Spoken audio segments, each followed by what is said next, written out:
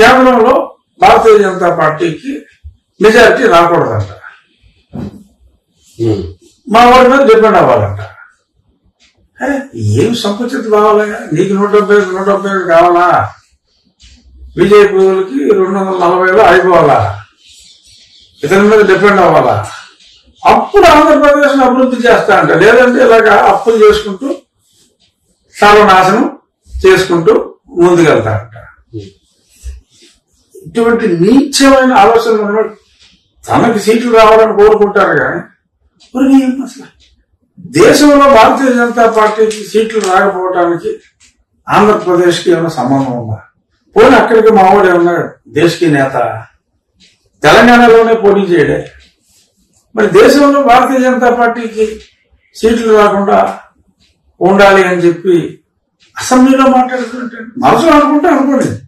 మనసులో బోలు గోలుగులు ఉంటాయి. ఎన్నికల ప్రసంగం చేశారు అలా సరే ఆ బడ్జెట్ తొకడా బడ్జెట్ అది అదే వ్యవసాయానికి ఏమో ఎన్నో వేల ముప్పై వేల కోట్లు అన్నారు.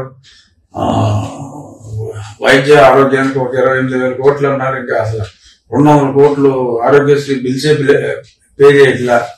సో ఇలా ఏ ఫేక్ నెంబర్లు ఇచ్చారు ఏదో బోతద్దాన్ని బోతద్దంలో చూపెట్టారు.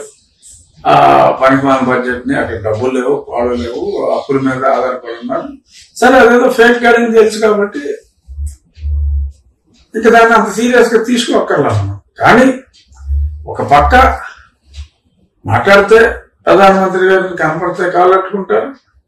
కానీ వాళ్ళ పార్టీ సర్వనాశనం కావాలని కోరుకుంటారు. ఇది ఎక్కడే ఇదంతా మనకి అర్థం కాదు. సో మళ్ళీ ఇప్పుడు ఆయన ఇక్కడ బయలుదేరి వచ్చి మళ్ళీ మోడీ గారిని. నిన్న ఒక ఫేక్ ప్రచారం కూడా మా వైస్ చీఫ్ గారు చేశారు. అసలు ఇంకా చంద్రబాబు నాయుడు గారు మీటింగ్ రాత్రి పదకొండు ఇరవై అయిందని కూడా సాక్షిలోనే రాశాడు. ఏడున్నరకే పెట్టేశారు ఎనిమిదింటికో. అమిత్ షా గారు కి పాదాభివందనం ఏం చేస్తున్నట్టు? మీకు ఎన్ని సీట్లు కావాలి సార్? అని మాట్లాడినట్టు. మరి ఇటు సాక్షుడు పేరు మీద రాస్తే బాగోదని వెయిట్ న్యూస్ పేరు చెప్పి ఒక ఫేక్ ప్రచారం కూడా చేశారు. అంటే రేపు ఒకవేళ అపాయింట్మెంట్ ఇస్తే మొన్న అయితే ఎవరైనా అనుకున్నాం.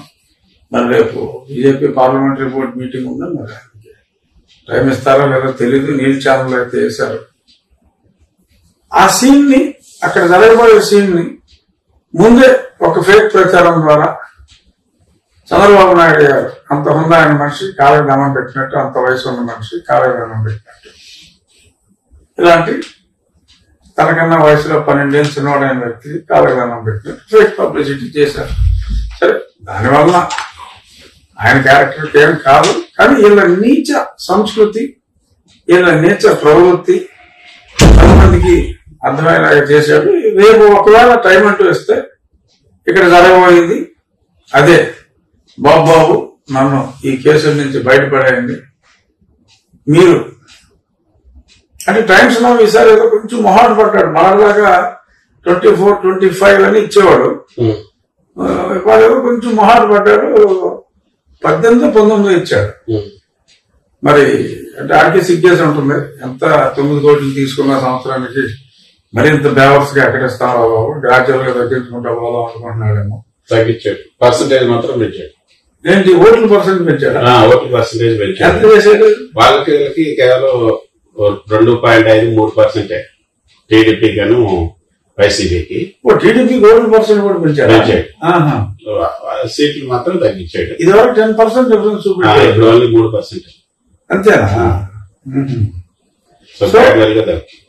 సో పది రోజుల తర్వాత మూడు ఆడికి పెడతాడు ఏడు ఆడికిచ్చి ఐదు చేస్తాడు. ఎందుకంటే మళ్ళీ ఆ తర్వాత మళ్ళీ అడ్వర్టైజ్మెంట్ కావాల్సింది ఇక్కడి నుంచి కదా అర్థమైపోయింది అతను కూడా సీను.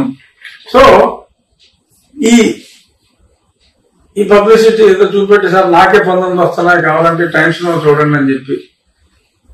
వాళ్ళు పిలిచారు ఎన్డీఏలో భాగస్వామిగా ఉండాలంటే ఆ సర్వేలన్నీ చూసుకునే కదా పిలుస్తారు. సో అంచేత డెఫినెట్గా నేను రెండు సంవత్సరాలు పైబడి చెప్తున్నా. ఈ మూడు పార్టీలు కలుస్తాయి ఈ మూడు పార్టీలు కలుస్తాయి అని. ఇప్పుడు ఎంతో మంది నవ్వుకున్నారు అప్పుడు. మరి ఇప్పుడు నవ్వండిరా. ఏ చీఫ్ సార్ ఇప్పుడు నవ్వండి. మూడు పార్టీలు కలుస్తున్నాయి. మీరు ఎన్ని వృధా ప్రయత్నాలు ఎన్ని చేసినప్పటికీ కూడా ఇక్కడ జరగవలసింది జరిగింది. ఇప్పుడు ఆఖరి నిమిషంలో మళ్ళీ స్పెషల్ స్టాటస్ అడుగుతానని చెప్పి ఆ మిషతో మోహన్ రెడ్డి గారు వచ్చి మరి ఇక్కడ కాలట్టుకున్న ఇంకేం చేసినప్పటికీ కూడా పని అబ్బాయి.